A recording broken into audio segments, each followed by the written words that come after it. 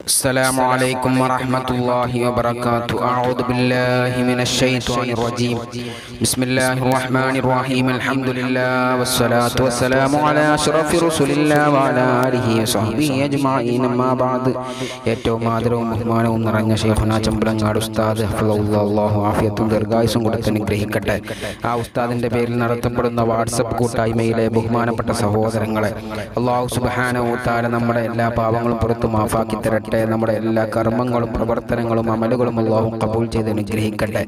നമ്മുടെ എല്ലാ രോഗങ്ങളും എല്ലാ പ്രയാസങ്ങളും ബുദ്ധിമുട്ടുകളും അള്ളാഹു ഷിഫാവ് നൽകി അനുഗ്രഹിക്കട്ടെ. ആമീൻ അറബൽ ആലമീൻ.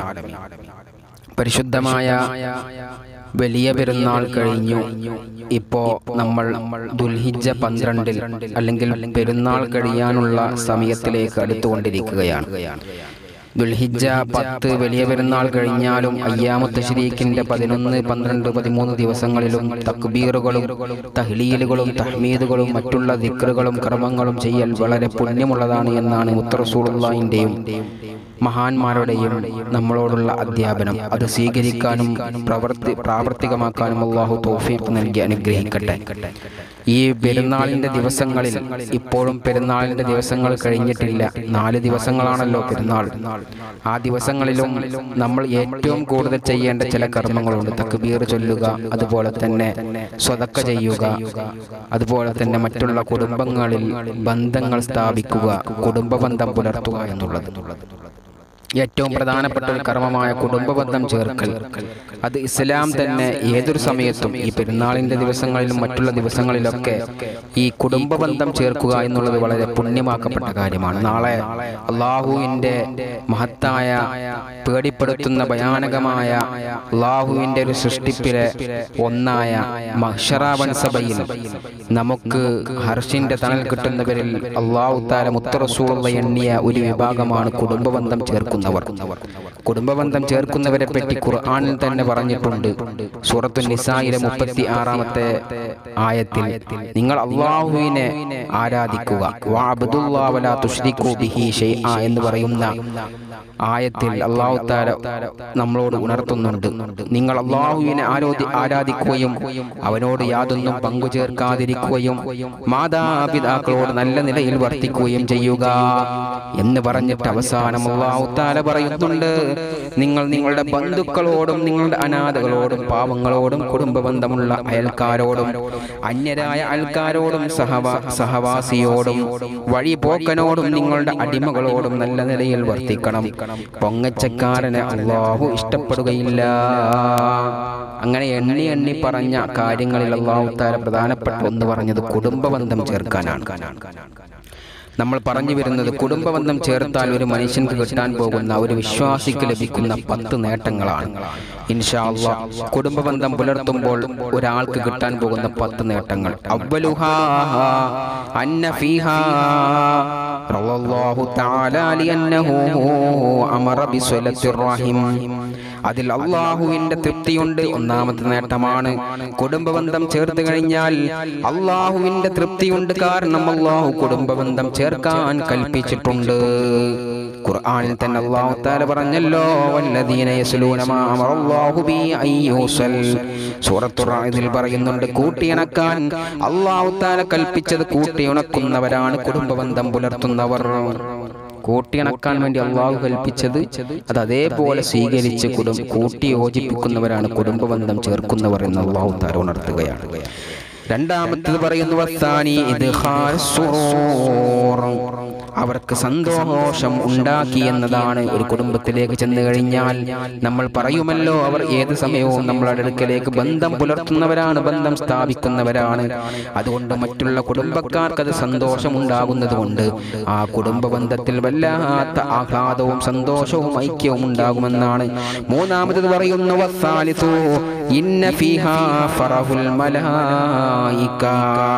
കുടുംബബന്ധം ചേർക്കുന്നവർക്ക് മലക്കുകളെ സന്തോഷിപ്പിക്കലാണ് കാരണം കുടുംബബന്ധം ചേർത്താൽ അത് മലക്കുകൾ സന്തോഷിക്കുന്ന സന്ദർഭമാണ് എന്ന് മഹാന്മാര് പഠിപ്പിക്കുകയാണ്.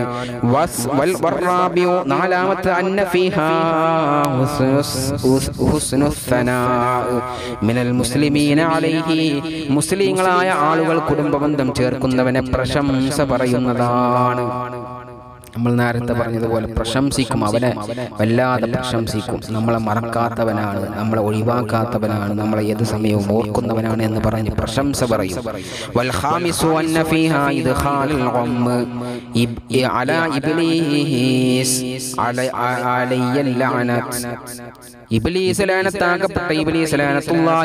നമ്മൾ കുടുംബം ചേർക്കുമ്പോൾ ഇത് അവൻക്ക് സങ്കടമുണ്ടാകും. അവൻക്ക് ദുഃഖം വരാനുള്ള കാരണമാണ് കുടുംബബന്ധം ചേർക്കൽ. നമ്മുടെ വയസ്സ് വർദ്ധിക്കും. നമ്മുടെ ആരോഗ്യം വർദ്ധിക്കും. നമ്മുടെ ആയുസ് വർദ്ധിക്കും. അള്ളാഹു മനസ്സിലാക്കാൻ തൗഫീഖ് നൽകട്ടെ. അവന്റെ ഭക്ഷണത്തിൽ ബർക്കത്തുണ്ടാകും. നമ്മളിങ്ങനെ പറയും ഭക്ഷണത്തിൽ ബർക്കത്തുണ്ടാവാൻ ദുവാ ചെയ്യണം ജോലി ശരിയാവാൻ നമ്മൾ എന്ത് ചെയ്യണം. നമ്മുടെ കുടുംബക്കാരൊക്കെ പോയി കണ്ട് ഒഴിവുള്ള സമയത്ത് സദാസമയവും അവരെ പോയി ബുദ്ധിമുട്ടിക്കാനല്ല.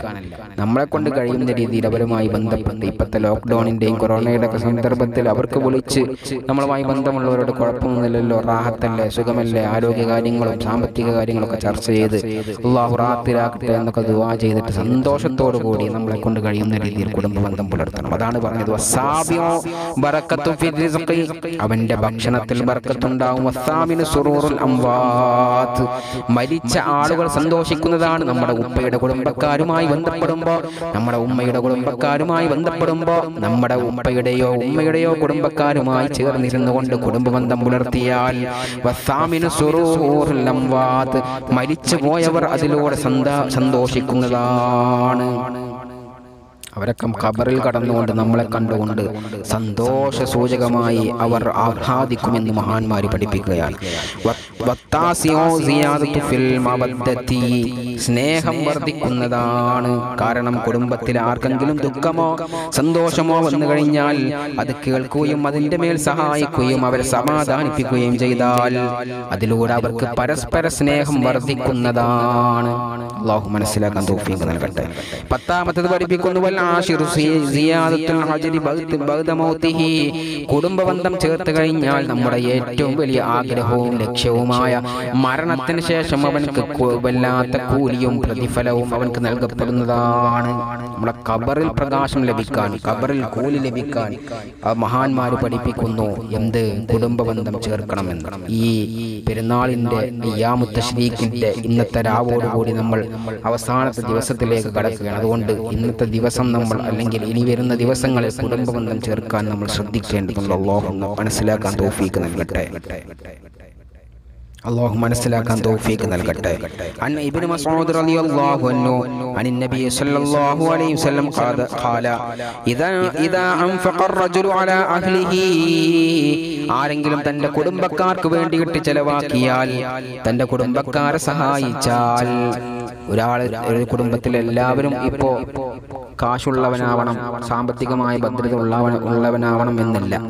എങ്കിലും അതിൽ ഉള്ളവൻ ഇല്ലാത്തവനെ സഹായിച്ച് സഹായിച്ചു കഴിഞ്ഞാൽ അള്ളാഹുന്റെ റസൂൽ പറയുന്നു അത് സ്വതക്കയാണ് സ്വതക്കയിലെ ഏറ്റവും പുണ്യമുള്ളതാണ് കുടുംബക്കാരെ. തന്റെ കുടുംബത്തിലെ ചോര ചോര ഒപ്പം പറന്നവരെ നമ്മുടെ ചോരയിലുള്ളവരെ സഹായിച്ചു കഴിഞ്ഞാൽ അത് സ്വതക്കയാണ് എന്ന് ഹബീബായ നബി സല്ലല്ലാഹു അലൈഹി വസല്ലം. അള്ളാഹു മനസ്സിലാക്കാൻ തൗഫീഖ് നൽകട്ടെ. ഫഹിയ ലഹു അത് സ്വതക്കയാണ് കുടുംബക്കാരെ സഹായിച്ചു കഴിഞ്ഞാൽ സാമ്പത്തികമായി ശാരീരികമായി മാനസികമായി അവനെ സഹായിച്ചാലും അവനുമായി സഹകരിച്ചാലും അത് സ്വതക്കയാണ് എന്ന് മുത്ത് റസൂലുള്ളാഹി സ്വല്ലല്ലാഹു അലൈഹി വസല്ലം. ഇൻഷാ ഈ അയ്യാമു തശ്രീഖിന്റെ പെരുന്നാളിന്റെ സുദിനങ്ങളിൽ നമുക്ക് കുടുംബ ബന്ധം പുലർത്താനും കുടുംബത്തിലുള്ളവരെ സാന്ത്വനിപ്പിക്കാനും കുടുംബത്തിലുള്ളവരുമായി സഹായിക്കാനും സഹകരിക്കാനും അള്ളാഹു തൗഫീഖ് നൽകട്ടെ. എല്ലാവരോടും ദുആ കൊണ്ട് വസിയത്ത് ചെയ്യുന്നു. അഹൂക്കും ഫിൽ ഇസ്ലാം ഫൽ സഖാഫ്. വസ്സലാമു അലൈക്കും വറഹ്മത്തുള്ളാഹി വബറകാതുഹു.